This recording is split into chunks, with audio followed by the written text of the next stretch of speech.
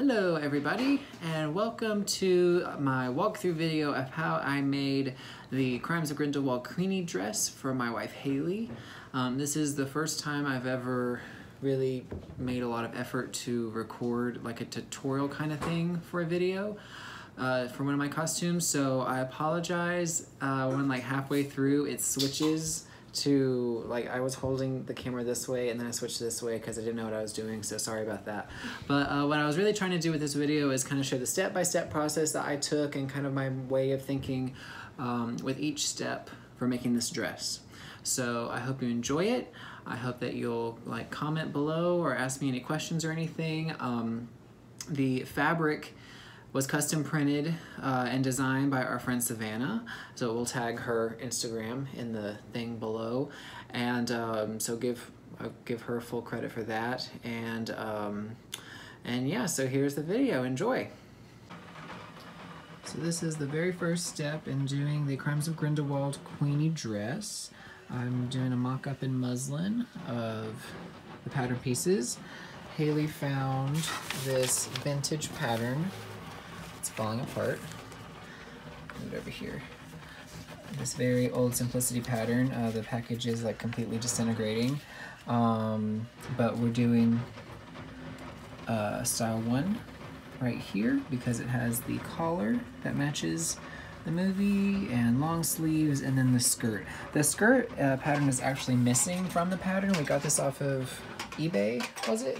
Yeah. eBay. Um, and so the pattern pieces are missing, unfortunately. So I am going to Frankenstein some patterns together and use something I was I'm using to get Haldo, that uh, that drape on Haldo. But there's a skirt here, so I'm going to use this skirt and add it to the top of this dress and see what happens. And so when I'm doing my mock-ups, I usually just uh, copy the pieces, the markings on the pattern. So um, there's going to be the bolt, I think they're called bolts, um, on this dress. So I'll just use my marking pin um, to mark up on the muslin. And so this is going to be, those markings are there, and we're going to sew this to create the bolts on both sides of the front, and then we'll sew that to the back piece. Okay, so I've done the bolts now, and it says like to press and everything, and I'll do that for the final version, but just for a mock-up, there's no point. Um, I use a really, like, usually just use like red thread or whatever I grab first, because um, it doesn't matter. Super wide stitch. We're just getting a quick version of what we think it's going to look like. So now we attach the front to the back and go from there. And there you go. So starting to actually look like a piece of clothing um, all sewn in there. So we can see the collar flaps that we're going to add to in a bit, and then we see where we're going to add the collar. There.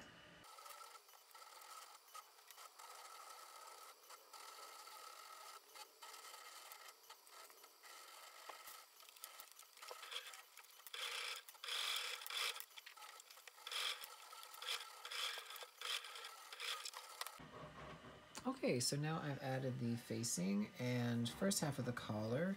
I've just realized that this pattern does not include a lining for the upper half of the dress, uh, so that means that I get to figure out what the facing minus this side gets to measure out to be uh, to add the lining to the inside of the dress. But this is going to be the collar that will open up. Um, yeah, like I've made a ton of mistakes on this, like nothing's even, but like who cares? It's just a mock-up, so it doesn't matter like what it looks like or like the whatever's crumpy. Like I, it doesn't matter. We're just trying to figure out fit and uh, move on from there. Okay, and so now it's sort of kind of starting to look like clothes. Um, so obviously I am not awesome at collars. I really don't know how they work, so I'm to have to watch a lot of other YouTube videos uh, on how to make these lapels nice and pretty at the corners because uh, I struggle with that on my newt coat and I definitely don't want that to uh, look anything like that on the finished product. But um, yeah, so happy with the facing opening up like this, uh, happy with these peaks. Um, so the sizing all looks pretty good. um, bolt there. Uh, it's possible that there might be some more bolts on the dress, which I would not like, but uh, we're gonna have to look at some more pictures and see what that looks like there. Um, I think there might be more than just the one. Um, and I might not make them quite this deep either. This is a pretty deep one, and I don't think the dress goes all the way down to the bust line. I think it probably, I think they stop right about there. Um, again, we're working with so few pictures, I'm not quite sure. But um, yeah, that's pretty much it. Back, um, it's just the back. We haven't seen a single picture of the back of the dress, so no idea what that looks like. Just gonna make it up as we go and forgive ourselves if it's wrong. Okay, new day, new work on the mock-up. So I've looked at a lot of reference pictures and noticed that I really don't think that this line here is a bullet. Uh, what it looks like to me is uh, two pleats that are pleating inward and then the same on this side. That's really what it looks more like to me. And I've also noticed that there really don't seem to be any peaks on the lapel or the collar of the dress. It's just one solid all the way down, just like Newt's vest, which is one solid piece all the way down. So I kind of made up my own pattern pieces. Um, what I did was I lengthened out the collar because the collar really cut off right here. So I added about an inch and a half on both sides of the collar piece right there. And then I just sewed on top, because this is a mock-up, so who cares, um, the facing pieces, the pattern pieces that uh, now go all the way down on the inside. So they're kind of tucking out there because the seam allowance, I didn't pay attention to that. Um, so yeah, that's kind of where I have the collar now. And uh, flip it up, you can see that that's what it looks like underneath. Uh, so yeah, the, the blouse then attaches to the collar underneath there, but then on top it's one solid piece. So I think that looks closer to what the dress looks like. Um, the biggest challenge is going to be lining up the the uh, the lines there because I'd like to get it as close as possible to what it actually looks like in the movie um, as far as the lines go. We'll see what happens though. Alright, so new day, new progress. Trying on the top of the dress on Hayley. And so I've got kind of the pleats where I want them. Facing inward. Her necklace, her beautiful necklace that she made. Oh yeah, I need to talk about that. Herself is hitting exactly where it's supposed to. Woo! And turn around. There's the back. I've kind of cinched it in a little bit here. Um, so, so to the sleeves and everything. So yeah, it's coming along. So I added the sleeves to the dress. Kind of poofy, which is how it looks in the pictures.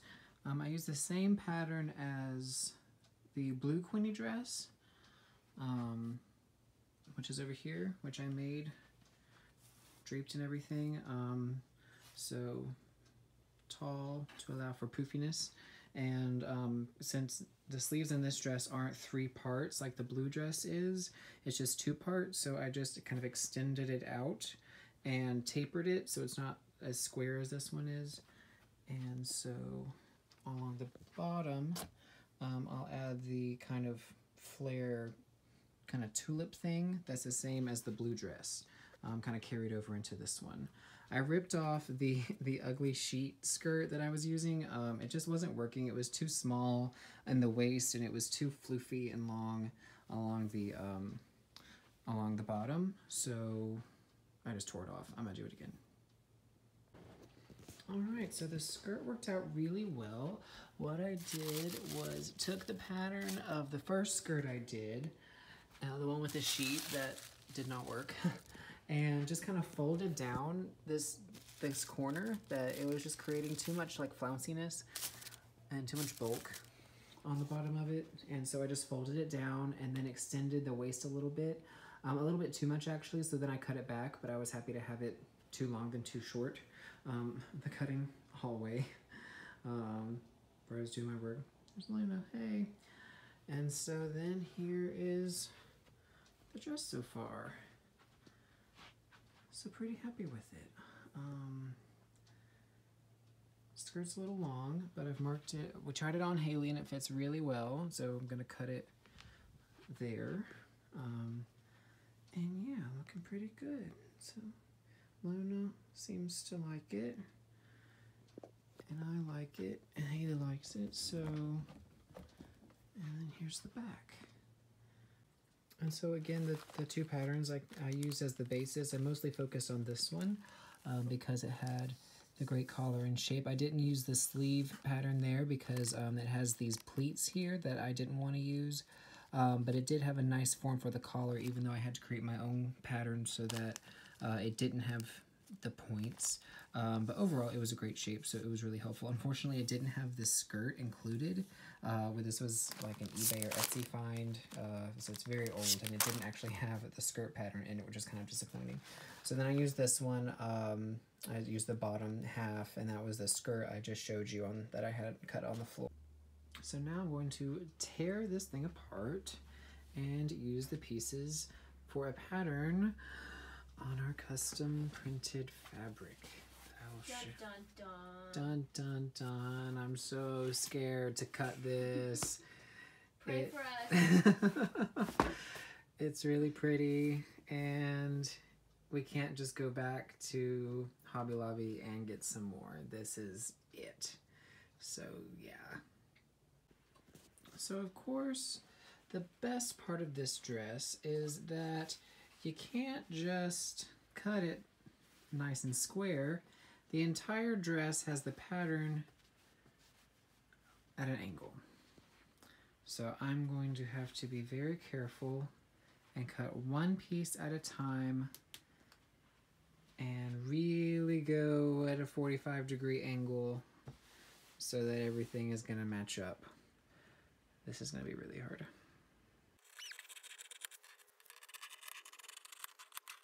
All right, so I've made the first cut. And that's what it looks like so far. So this is the point where I wish that I could just wave my wand or Queenie's wand and just have all this stay together without pins. Um, the only thing that didn't really, my pattern didn't work out with the um, the collar. I'm not sure exactly what happened. Um, one side is flat and then one side is like curved. Um, so I don't know which side is the right way. So I'm gonna have to figure that out. But uh, other than that, and uh, the little, uh, little additions on the ends of the sleeves, like the blue Queenie dress, everything's cut out. Okay, if you've noticed that there's a change in the videos, because I'm turning the camera sideways now. Um, so I've added the collar to the dress, and I found out that it was the flat pattern that was good, not the, the curved pattern, so we're all set. So I've kind of got the necklace on here as a reference, but...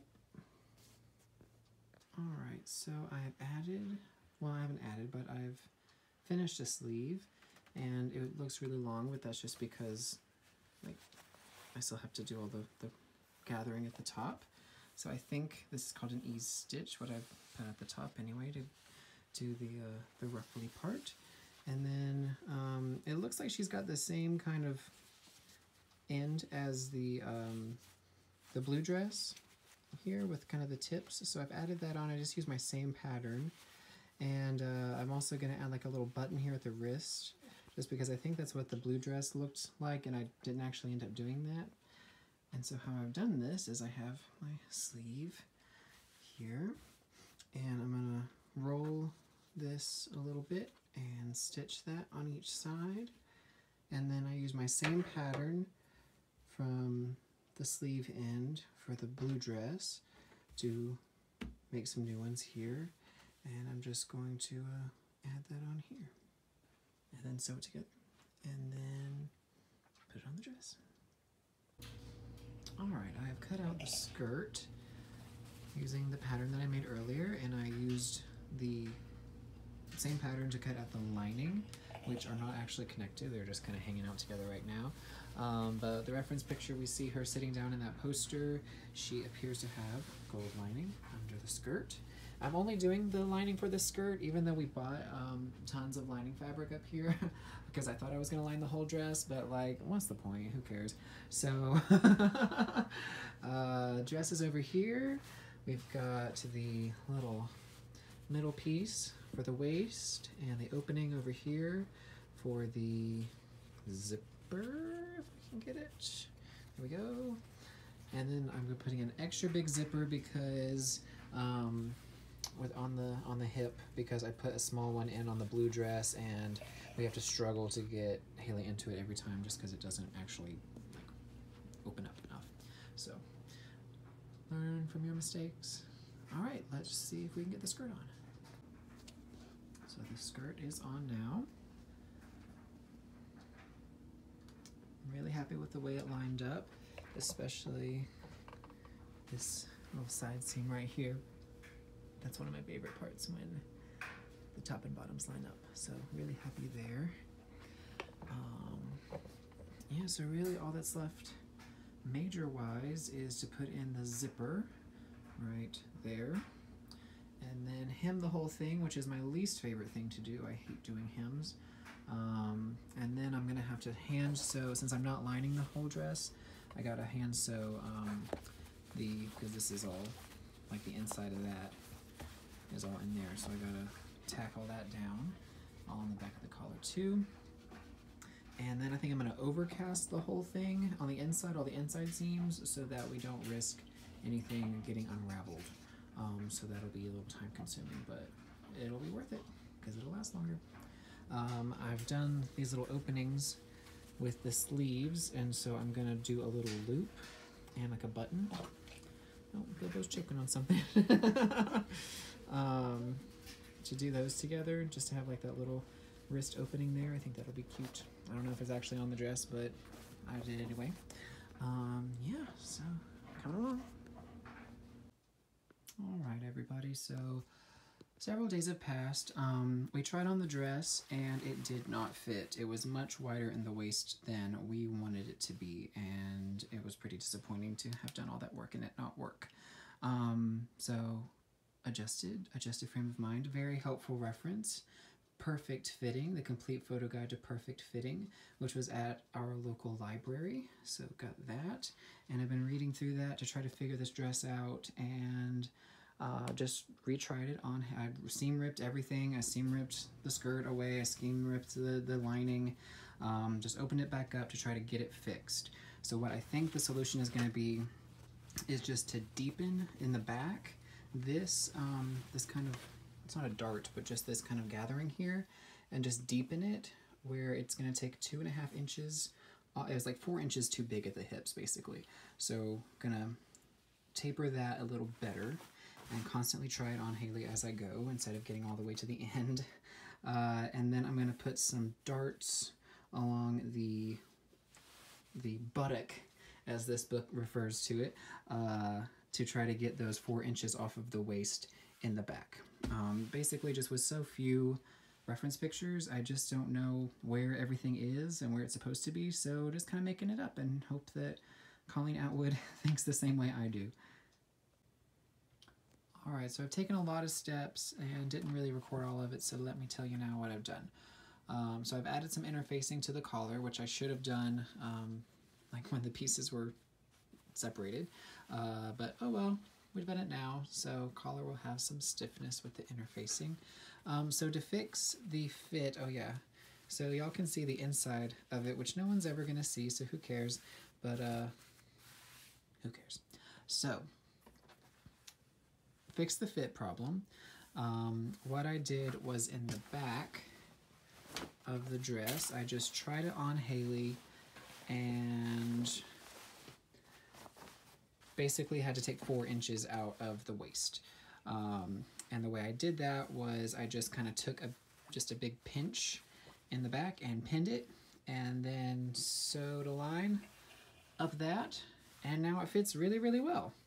Um, still not perfect in the back but it's like this is the inside so you're getting the view that no one is ever going to see. Um, I also put some bolts um, over the hips so you can see those in the lining and they're also in the skirt. And then I put in the zipper. And so I hand sewed the lining into this uh, on top of the zipper so that that kind of all closes up. And then the zipper's on the inside all the way up to there. And so that's what it's looking like on the inside, which again, no one's ever going to see, so who cares what it looks like.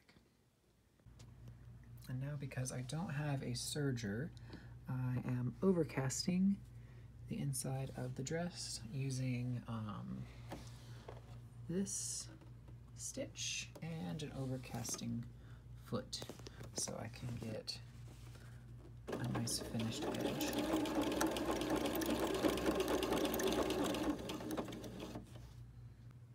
And just as a side note, you don't have to have any kind of fancy stitch on your machine um, to use an overcast.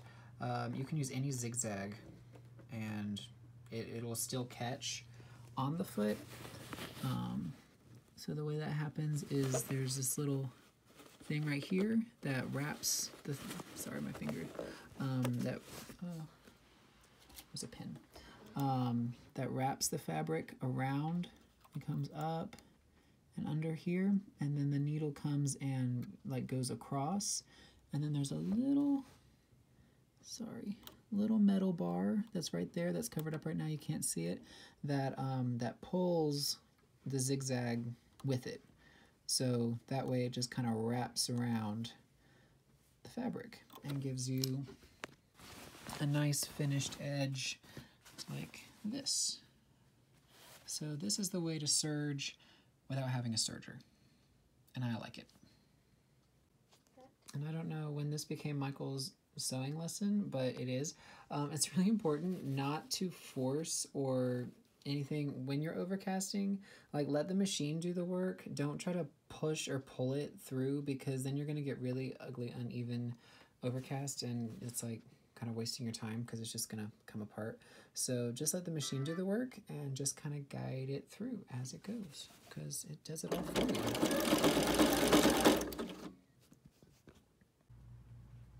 I'm done overcasting and I was looking through my sewing bucket and I found all of these buttons that I didn't even know I had.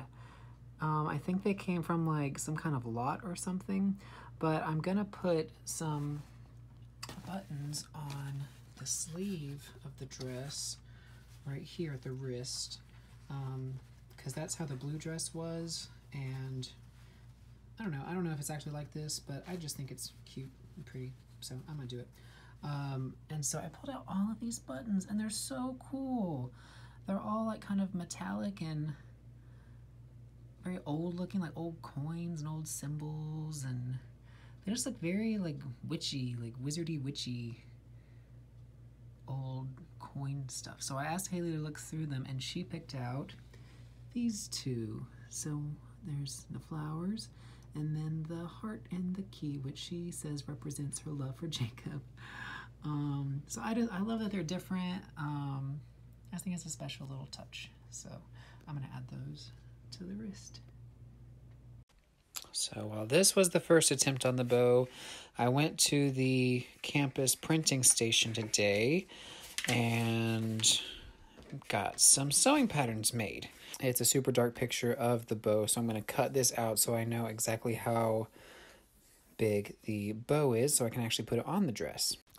And what I did to try to figure this out is I measured this tiny picture of Queenie where you can see the bow, uh, measured it out in centimeters, and then did proportions to where to try to get it life size. So I'm going to cut it out and see what happens.